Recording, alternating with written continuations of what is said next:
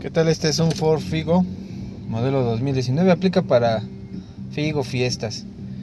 Este, una manera de verle velocímetro, temperatura, más que otra cosa, urge verle la temperatura del, del motor. Hay que verle en esta palanquita, en este botón, dejarlo presionado y poner el switch.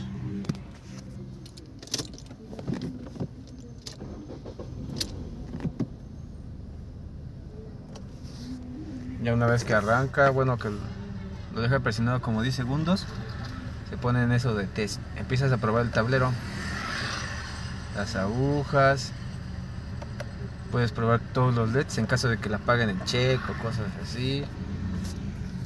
Si le sigue presionando, salen códigos DTC si tuviera fallas el tablero. Aquí vemos que no tiene ninguna falla es la velocidad también te la marca de manera digital. Como vemos ahí va. Por si no sirve el velocímetro pues ya tienes otra manera de verlo si no sirve tu velocímetro del tablero porque al final el sensor de velocidad es otro. Tenemos el tacómetro este es el de las revoluciones.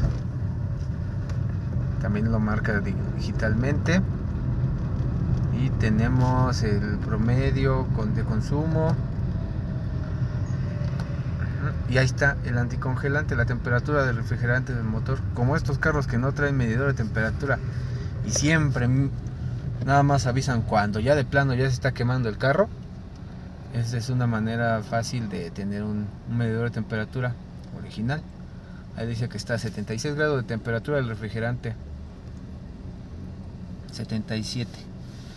Este, este carro es 2019, es estándar, es de 3 cilindros 1.5 y prende el ventilador a los 100 y apaga a los 94, 95 grados. Para que lo tengan en cuenta, este es de 3 cilindros y es 2019, es estándar con aire acondicionado y esa es un, una manera de tener medidor. Eh, acuérdense de darle like en mecánica especializada, compartan el video y díganme alguna sugerencia o videos que quieran que haga. Chao.